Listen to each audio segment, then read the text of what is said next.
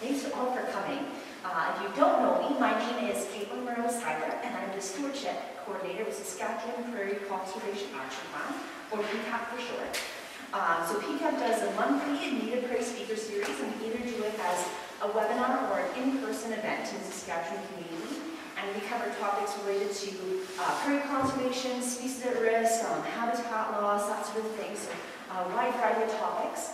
Um, and I'm really excited to be in Val-Marie. this is kind of our first uh, uh, speaker series in person since the COVID restrictions are taking place I should turn this on. I got gesture that. Thank you.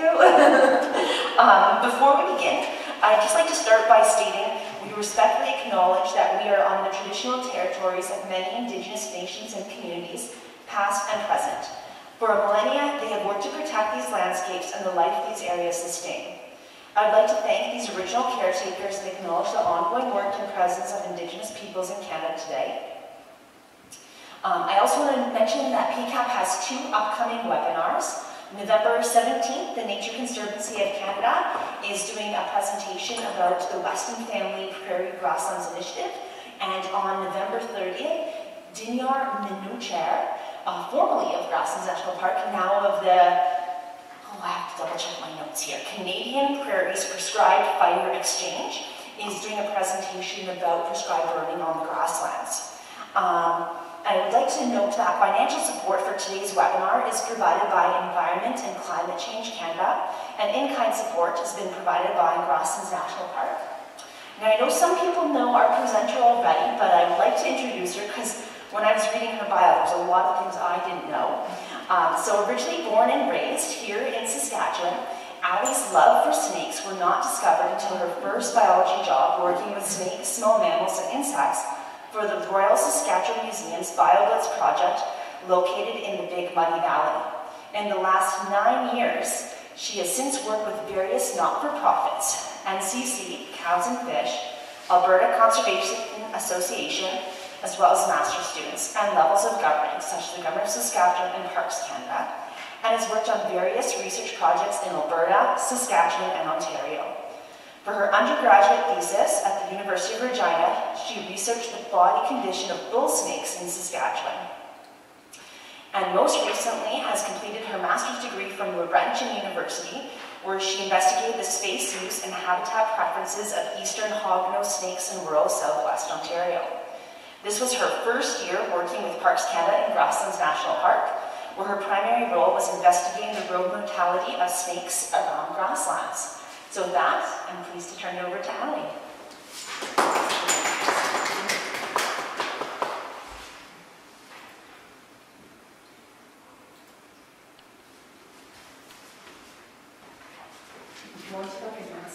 Out, go it. They will sometimes. Um, hello, everyone. Um, thank you for joining us today, um, and especially for listening to me talk about snakes, because I know that's not a super popular subject. Uh, so I'll be talking about the biology and ecology of snakes here in southwestern Saskatchewan. So I always have to start off my presentations by asking in polling, uh, raise your hand you like snakes. okay, raise your hand if you don't like raise your hand if you're kind of, kind of indifferent or, okay. So we have two people this way here. Um, hopefully, kind of by the end of the presentation, we can maybe come to a sort of understanding or neutral kind of position. Um, I know that I am definitely in the uh, minority of people that um, you know, love snakes uh, through media, um, growing up, you know, in the, the Jungle Book, um, you know, there's always been a really bad rap or bad stigma around snakes. So uh, we've been exposed from little wee things to adults that snakes are really bad and really scary. And another element that I found when people uh, don't like snakes is the element of surprise. uh, that comes with snakes. So the fact that, you know, you'll be walking along, minding your business, um, you know, don't hear anything, just enjoying outside, and then all of a sudden you realize, oh, there's a snake by me. Okay, wasn't expecting that. So, um, you know, we are not fans of being surprised, basically. You know, in, from way back our ancestors, we, we don't like it. Not a cool thing. However, for myself, again, I love snakes. Um, there's a couple reasons why I do. So first of all, the fact that they can uh, move around 95% of the time pretty flawlessly without any legs. Uh, when I walked over here with my own two legs, I tripped on the sidewalk, so I can't walk very gracefully. Um, another is that, you know, kind of get to laze about and sunbathe all day. I think that'd be really nice to have a basically lifelong vacation. And the fact that these creatures are so misunderstood and there is a negative stigma around them. So um, the, the times that I've been working with these snakes over the last nine years, I've found that they have personalities. Um, they really, they want nothing to do with us. Um, they're just, you know, living beings, having, having a heyday as much as they can, um, and they're just little phenomenal creatures, in my opinion. So um, I'll be covering again the snake biology species we have here in Saskatchewan and studying snakes here in Grasslands National Park. So starting with snake biology. Oops. Okay, well, there's supposed to be a snake there. Um, so just like us, again, snakes are living, breathing beings. Um, they have older senses. It is a myth that snakes cannot hear. Um, they can hear, uh, they can smell. It's a little bit different from what we are you know, used to for smelling. Um, they have touch, they can, you know, they know what's around them. Taste, again, it's a little bit different from us, as well as um, their eyesight. So for us, our eyesight is our strongest sense, uh, but for snakes, their scent um, and their taste is actually their strongest uh, sense. So basically, by using um, their sense of smell and taste, they're able to navigate their environment. So by sticking out their tongue, um, there's these, the scent particles that are coming around them that will land on their tongue, and they'll say, okay, I realize that, so it's its port. So the left of them, if there's scent particles that land on the left side, okay, there's something, you know, there's a, a dog beside me to my left. And their strongest sense um, being their sense of smell slash taste um, comes with the Jacobson's organ. So um, as you can see there, so the tongue, again, it is forked, and then directly under it is the Jacobson's organ that is directly connected to the nerve, which is directly connected to the brain. So it's really, really quick in terms of processing what's around them. Oh, that snake is not showing up. Anyways.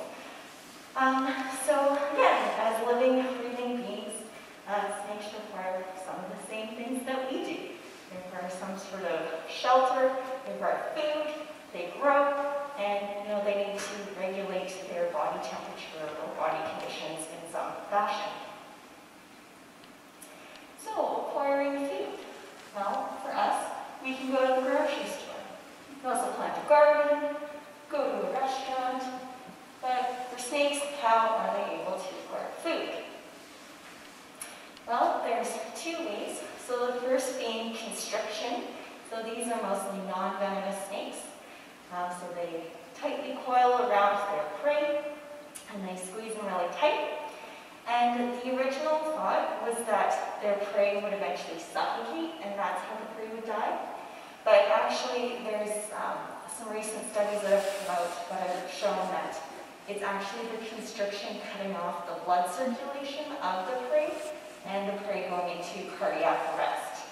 So not quite suffocating through airways per se, but um, suffocation through uh, blood loss and blood circulation getting cut off. And the other way is venom. Um, so again, the ones with kind of the fangs, um, spitting out venom. Uh, so with this way, it's a little bit more of a passive sit and wait for their prey to go by. Um, they're not active foragers. They don't have to be because they have their venom. And so um, kind of the, the indicators uh, between venomous and non-venomous snakes there. So again, wouldn't recommend getting that close to a snake. but if you have a nice, lovely lens that you can, you know, if you're unsure, maybe it's a rattlesnake or a bull snake, you can zoom in. Uh, but elliptical pupil um, compared to our round people, and then the nostrils, as well as the pit on our vipers there. So um, again, we'll see in some future photos, but those look more like nostrils than their actual nostrils are. So the pit is a heat sensing pit, and any heat signature that their prey, um, you know, that wanders by, they pick up on that signature that way. So, acquiring food, now to eat the food. So for us, um, we think about trying to swallow a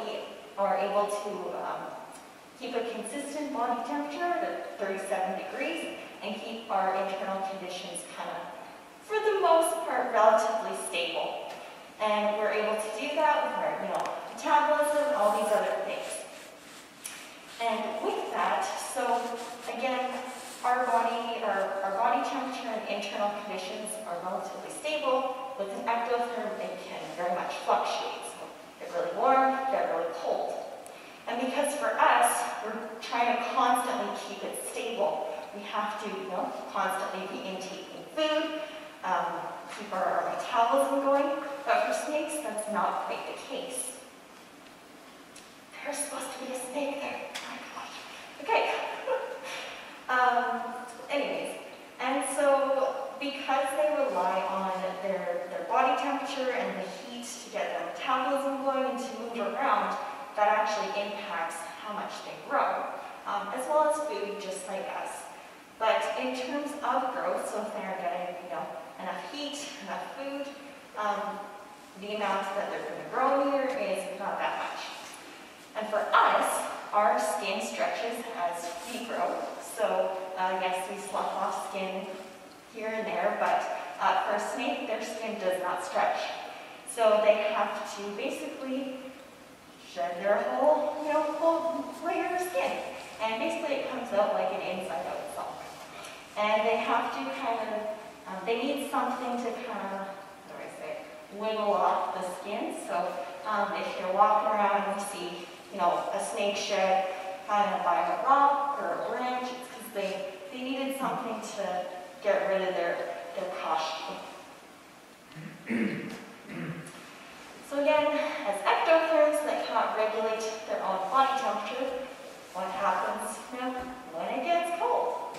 Well, again, for us, um, we have our, our hardy metabolism, and for the most part, we can put on you know, some warm layers and keep relatively warm and will instantly freeze. Um, but for snakes, that's not quite the case. So for snakes, they go into overwintering dens, uh, known as hibernacula, and these are usually located on south, southeast, or east-facing um, slopes, which is kind of the warmest aspect. Um, they are usually located in mallow rows, on hillsides, slumping, stuff like that. And the requirement for this is that it sits below the frost line. So getting below the frost line means they're not going to freeze.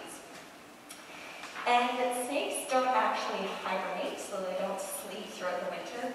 They are, uh, go through rum brumation, excuse me. And so they are fully conscious, fully aware for this period, but their heart rate and their body temperature subs well, substantially drops. And because these hibernaculum, again, it's so important that they sit below the frost line, it doesn't necessarily mean that there's hibernaculum here, there, everywhere. So because of that, they're kind of far and few.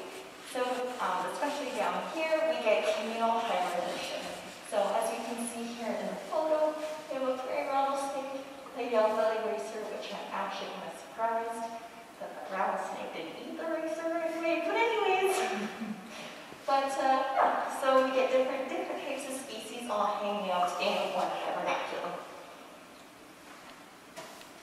So, looking at species we have here in Saskatchewan then.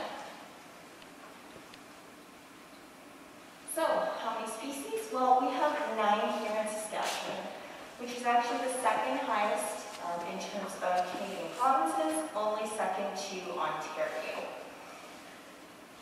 I think it's pretty good because Ontario has a lot of reptile species and especially snakes, so go us. So our first one is a smooth green snake. Sometimes uh, you'll hear it being referred as a grass snake. We have the northern red-bellied snake. Um, these guys aren't super common. They're more so in the um, kind of east, southeast part of our province. The uh, west, sorry, the terrestrial garter snake and the wandering garter snake, the red-sided garter snake, the plains hognose snake, the eastern yellow-bellied racer, our bull snake, the plains garter snake, and our prairie rattlesnake. So nine lovely species that we have here in Saskatchewan. But what about here in the southwest? So here at Grasslands National Park, we have six species. So again, we have the smooth green snake, the plains hognose snake, eastern yellow racer, the bull snake, the plains garter snake, and our prairie rattlesnake. And just north of us, um, like in Sask Landing, um, so an hour and a half away, uh, you can find wandering garter snakes as well. So although it hasn't been directly recorded down here um, around the park, there is a possibility that there is some in the neighborhood. So, uh, starting with our most threatened snake that we have here in the park is the eastern yellow-bellied racer. So, um, in terms of morphology and what they look like, so on the top picture there, so they can be olive green, gray, uh, bluish gray, brownish. Um, then they have a lovely yellow belly, so very fitting for the name. Um, and then the bottom there is actually a juvenile, so a neonate. So when they're born, they have um, these markings and stuff like that. And then as they get older, it gets to be um, just one solid color. And so actually when they are young, they can be mistaken for bull snakes. Um, and if you don't see the rattle, rattlesnakes as well. But um, they're up to five feet in the wild. They can live over 20 years. Um, they about 3 to 12 eggs, um, late in spring, and then hatch late summer. Um, they can be found in grasslands and riparian areas, especially for foraging. And these guys are, as I was saying before, in terms of constriction, um, so, you know, wrapping their prey really tight and going about that, these guys actually chew or swallow their prey whole. So they're constrictors, but they're a little bit different. And again, as the name suggests, these guys are really fast. They can go up to 7 kilometers an hour. And good luck trying to chase one because you don't expect it, but it's kind of fast. And then our prairie rattlesnakes, so these guys are special concern. So um, kind of see in the top right there, the lovely rattle. Um, in the bottom photo there, they have like a, a diamond head shape, and then the backs. Markings there, sorry, they can be cream or brown, um, stuff like that. And again, they have the, the elliptical pupils and the, um, the heat-sensing pits along their face. Pretty iconic. Um, so they can be about three to six feet. They're very thick body. These guys can get really chunky, for sure. Um, in the wild, they live on average about 16 years, but they can live up to 30 years as well. Um, so they have ovoviviparous young, um, so live young. So the young develop within the mom, and then what is actually born is live young. So other snakes, um, so the other snakes, if I don't mention that they have live young, they just lay eggs and the young um, hatch from the eggs. And they can still re reproduce at age around age 16 to 18, and they have specific areas called rookeries where they lay their young. They can be found in grasslands, badlands, and especially here at prairie dog towns. They primarily forage on small mammals, and their defense mechanism, as we all know, is uh, rattle and the use of venom. So for our bull snake, which is also a special concern, and sometimes can be confused with uh, rattlesnakes. So again, like the rattlesnakes, they have the, the markings and the saddling along their back. However, um, they can get a little bit darker in terms of the markings. Their heads are um, not as diamond or triangular shaped, they're a little bit more slender. Again, lacking those really prominent nostril, which are heat sensing pits. Um, and definitely don't have a rattle. However, which I'll get to, um, it can be very deceiving. So these guys can get up to six feet, however, they can extend beyond six feet. Um, in my opinion, they are gentle giants. These are, these are my favorite anyways, so the ones that we have here. Um, they're like, oh my goodness, like you pick it up, oh my goodness, and then they're just like, oh, okay, you got me. Cool. Like, okay, cool, thanks man. Um, so very, very large body.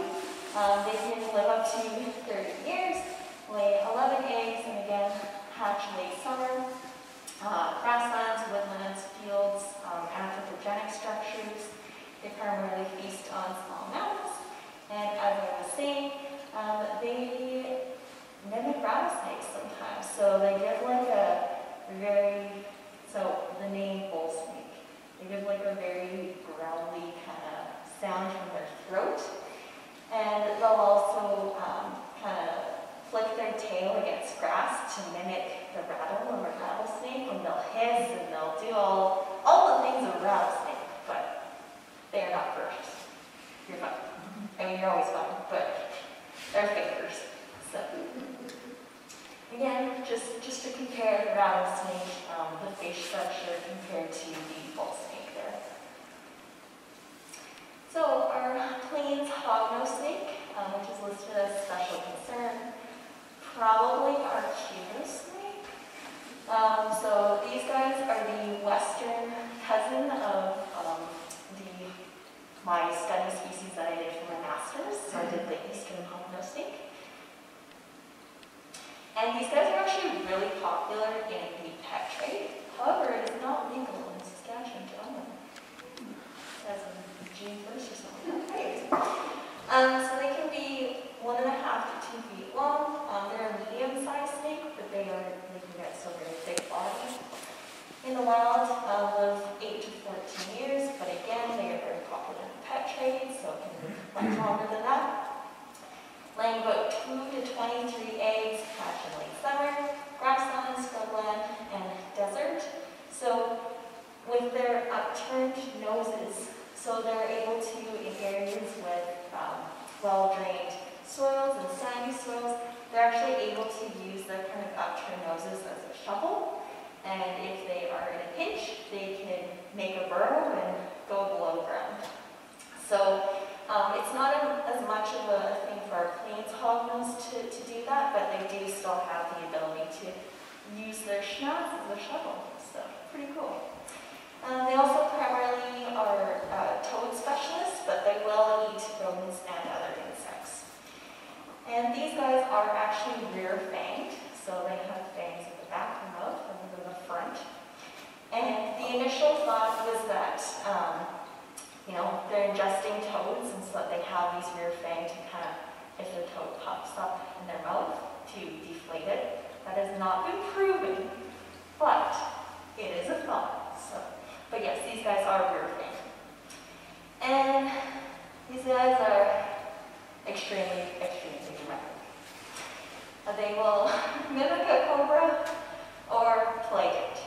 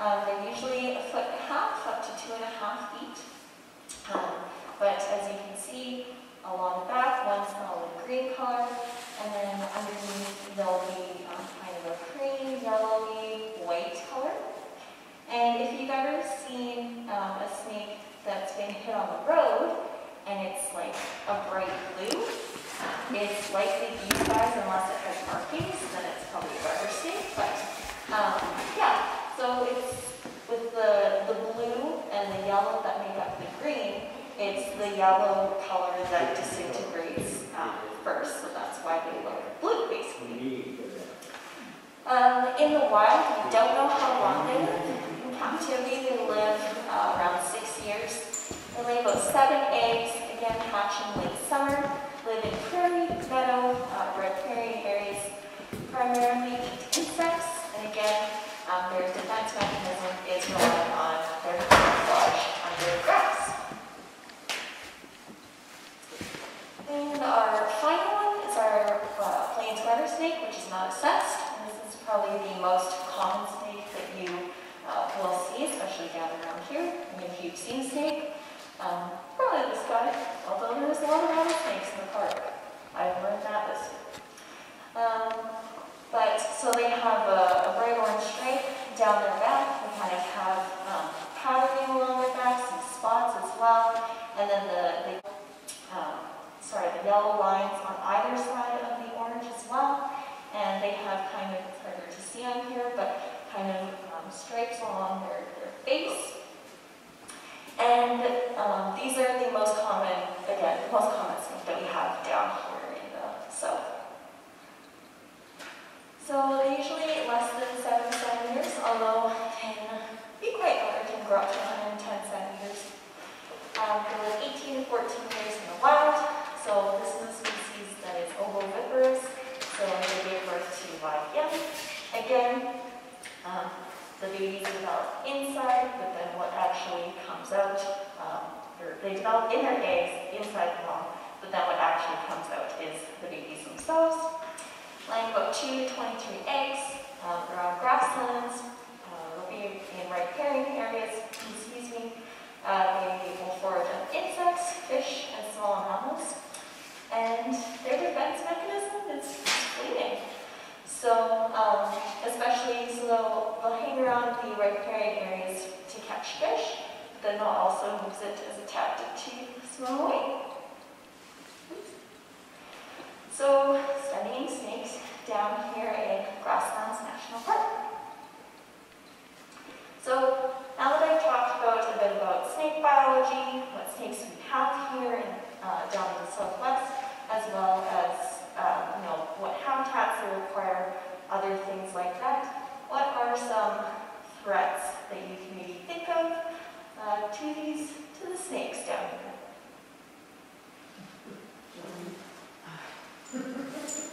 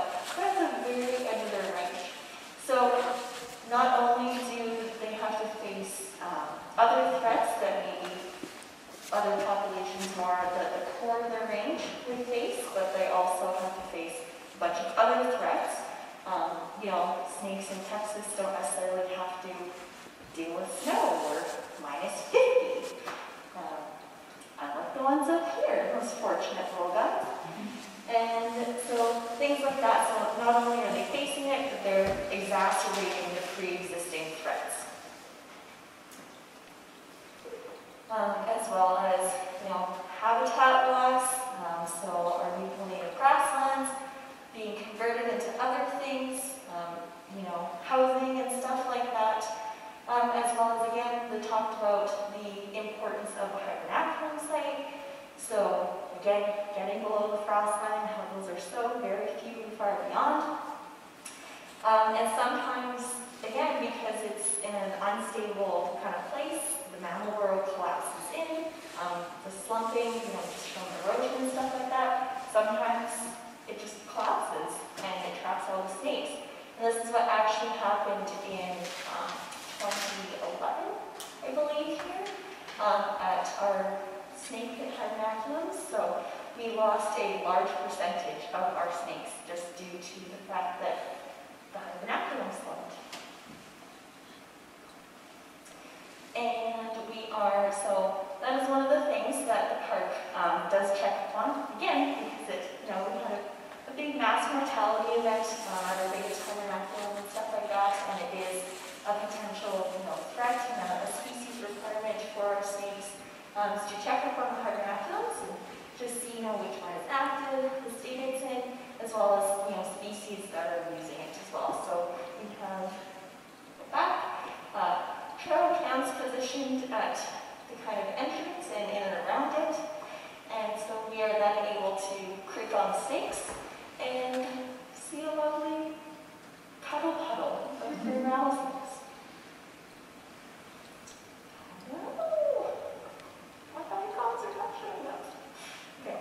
Now, so um, in our national parks, the largest source of human-caused wildlife mortality is due to roads. Um, so visiting our parks unfortunately takes vehicles, but um, Parks Canada is taking the initiative to try and make roads safer for our wildlife species. So in doing this, we seek to understand and influence human behavior to reduce wildlife mortality. Uh, we have pilot studies that launched as of this year Grasslands National Park is one of three parks uh, for our pilot project, so that's pretty exciting. Um, and our focus is on snake mortality and crossings. And in doing this, we are identifying hotspots, we're encouraging citizen science and upping our, our snake awareness messaging. We're collaborating with visitor experience and other Grasslands National Park staff. And the project actually falls within our existing traffic management strategy. So under uh, GNP's Species at Risk Action Plan is again the traffic management strategy, and this is uh, the goals to and implement management strategy to reduce wildlife mortality. And most of these implementations started around 2016. However, uh, the focus on snakes hasn't started until this year. And as I said, the program is set within our uh, at Risk Action Plan, so we are legally obligated to do something about this threat to our snakes. As well, so yes, this is a threat, but why is this, you know, such a, an important thing to look at, especially for snakes here in the Southwest?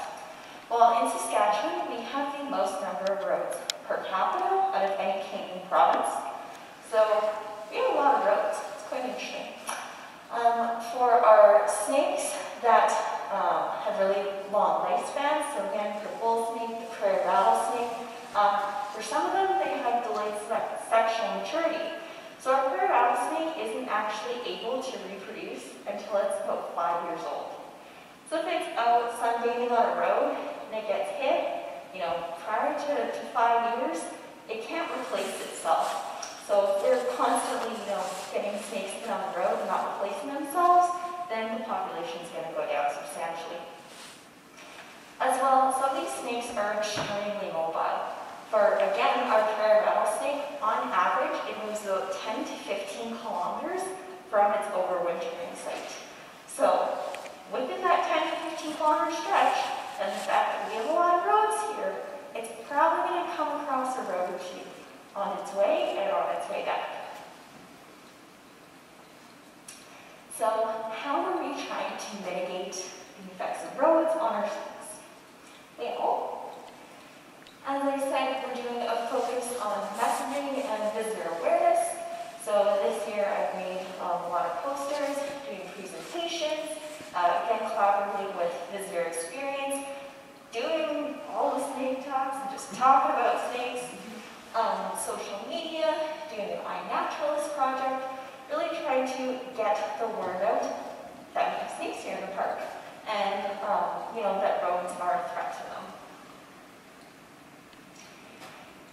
As well, um, identifying snake crossing hotspots. So reporting incidental occurrences um, through citizen science using iNaturalist, referring to email, um, just for visitors as well as Grasslands National Park staff, as well as uh, this year we've started targeted road surveys, and we do it in key migration periods.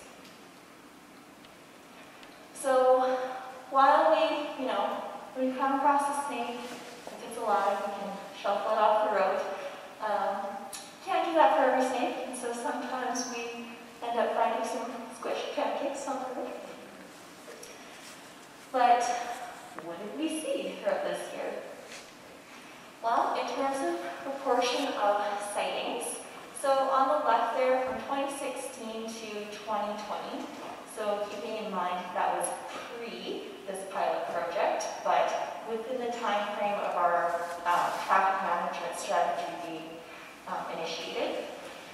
Um, and then on the right is this year with our uh, new project. So regardless though, prairie rattlesnakes at the top there and plains garter snakes at the bottom constituted the greatest proportion of our sightings.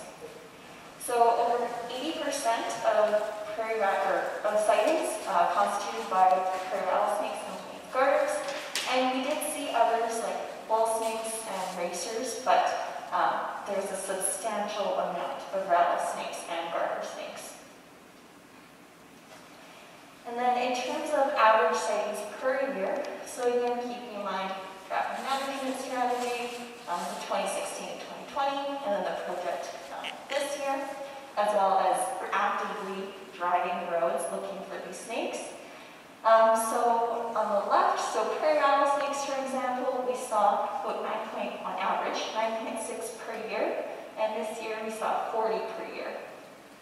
And turning your attention then to the bottom there for plains garter snakes, so we saw about 14.4 on average per year, and this year I found 112. So with doing the targeted surveys, uh, I was able to on average, find five times more greater sightings with the surveys. um, so, in terms of,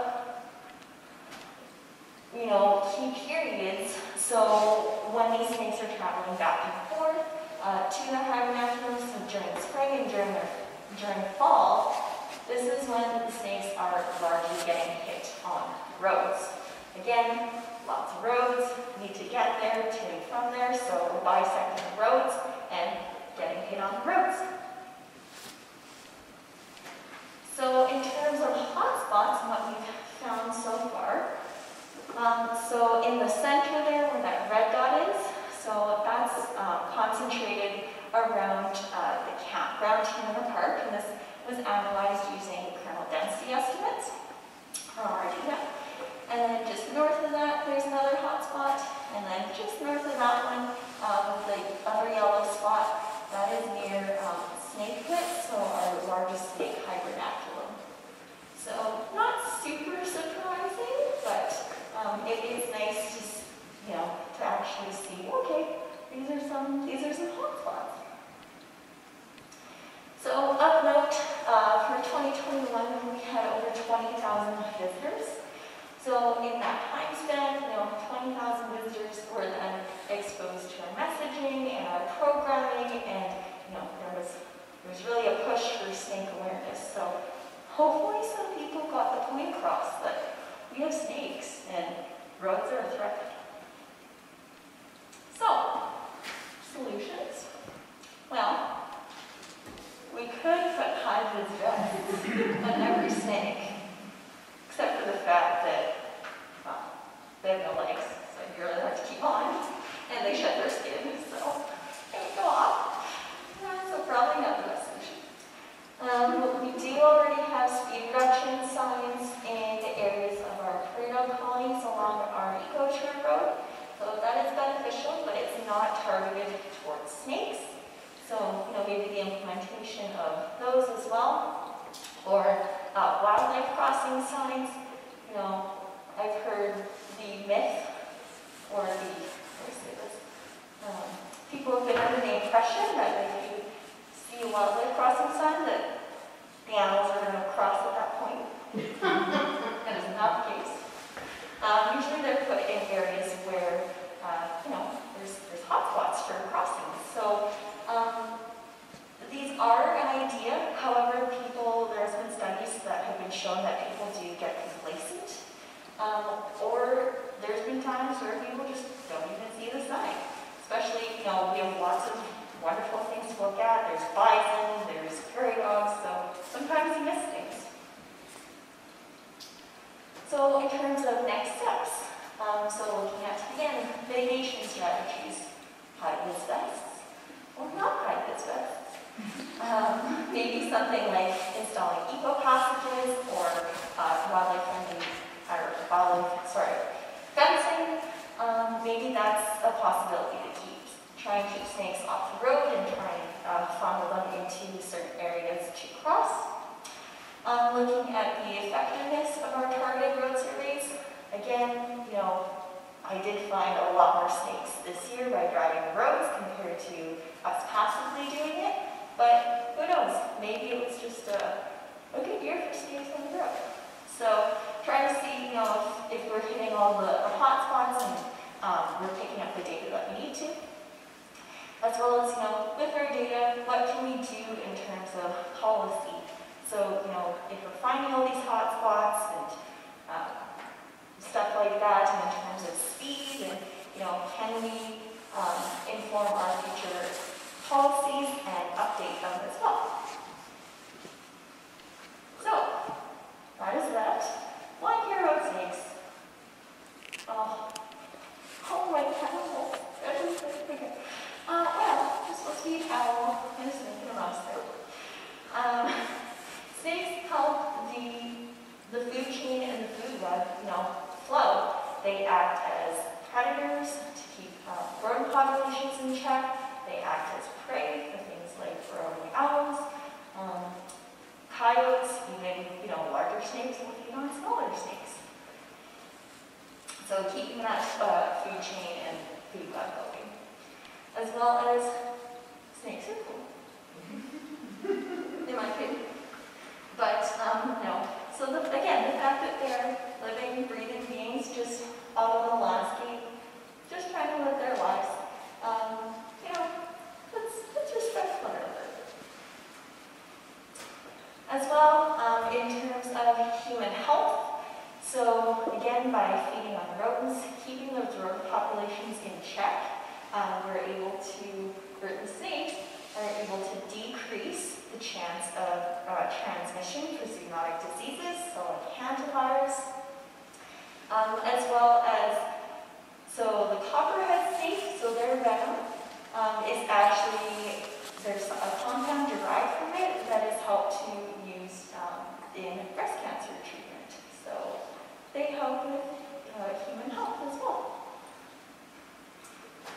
And another economic benefit is again, keeping those rodent populations in check.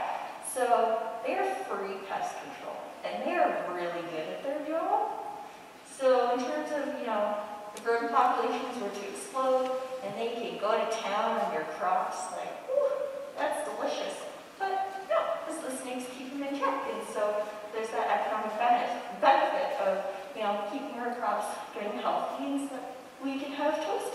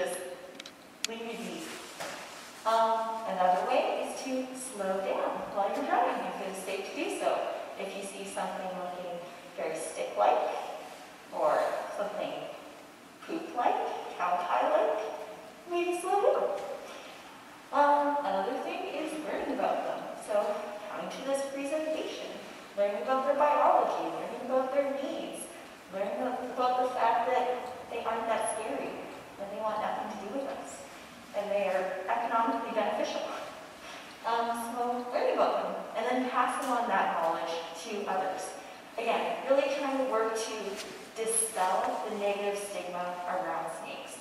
Um, because again, we've grown up with in the media, in the books, in you know, movies and stuff like that, that snakes are really bad and really awful, but they're not. They are living, breathing beings out on the landscape, just like us. And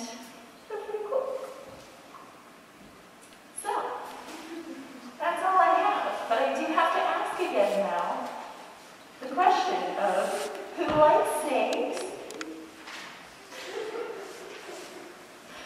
who doesn't